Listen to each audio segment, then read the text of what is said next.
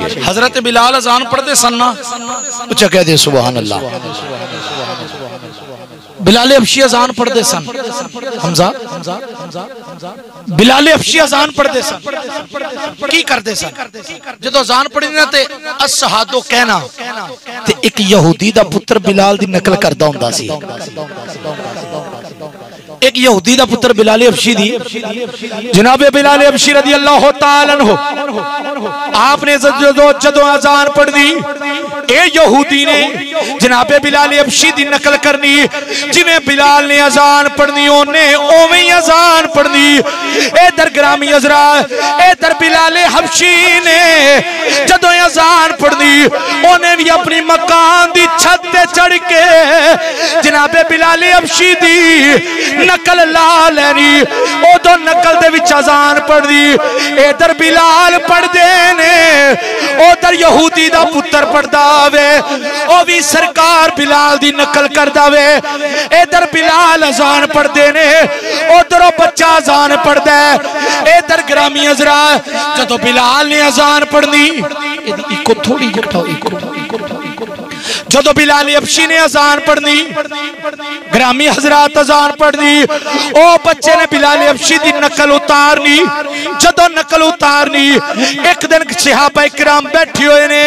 میرے آقا دو عالم نے او بچے نو ویکھیا ادھر صحابہ نے آکیا آقا اے بچہ یووے جدو بلال ازان پڑھ دے کملی والیا، اے بچہ بلال دی نقل کر داوے آقا جی میں بلال ازان پڑھ دے سے منج دی کاپی کر دے میرے آقا نے فرمایا، او بچہ دور کھڑایو کے، میرے آقا نو تک دائے پیا میرے آقا نو ویندہ پیا ادھر میرے آقا نے وہ بچے نو قریب بلایا جدو قریب بلایا میرے آقا نے فرمایا او بچیا میرے بلال دی نقل کرنا میں میرے بلال دی نقل کرنا ہے جدو قریب پھڑ کے لے کے آئے نا سرکار فرمایا نقل کرنا ہے کہندہ جی میں نہیں کرتا وہ مکر گیا۔ لیکن سرکار نے محبت کی تھی، فرمایا، واقعی کرنا ہے۔ انہوں ایسی کہ پتہ نہیں، پھڑکتا، مارنا۔ وہ کاپی کرتا ہوں سی۔ تے کہندہ ہے در گیا کہ در مارنا۔ اے درگرامی حضرات، میرے آقا دو عالم نے فرمایا بچے ذرا سنا۔ بلال ازان کیویں پڑھ دینے او بچہ میرے آقا دی بار کبھی کھڑا ہے کہندہ سونیا اگر کچھ آنکھوں نا میں تو انو سنا دینا۔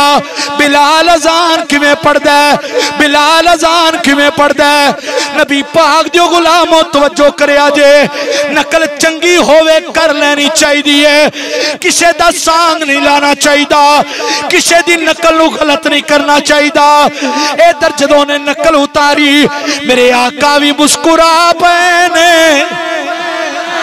میرے آقا مسکران دینے پہ صحابہ مسکران دینے پہ ادھر میرے آقا نے، او بچے دے سرتے پیار دیتا او بچے دے سرتے ہاتھ رکھیا۔ جدو ہاتھ رکھیا، او بچہ جوان ہویا۔ اللہ نے انہوں میرے کملی والے دا غلام بنا دیتا او جدو بچہ جوان ہو گیا پھر وقت آ گیا، سرکار دا غلام بن گیا۔ میرے آقا دا غلام بن گیا، حضور دا نوکر بن گیا۔ حضرات میرے آقا نے او بچے دے سر اتے پیار دیتا ہاتھ رکھیا۔ جدو ہاتھ رکھیا، پھر کی ہویا؟ او بچے نے اپنے سر دے وال اتروائے نہیں، جتھے سرکار دا ہتھ آیا نا۔ او جگہ دے انہیں وال اتروائے نہیں۔ او جڑی لیٹ سی نا، او دے پھر سر دے اتو نیمی آ گئی۔ حتیٰ کہ او دیاں لتاں تک لیٹ آ کس نے آکھیا بھائی یہ کیوں نہیں لواندہ کہندہ اے او وال نے جنہ اتے میرے مصطفیٰ دا ہاتھ آیا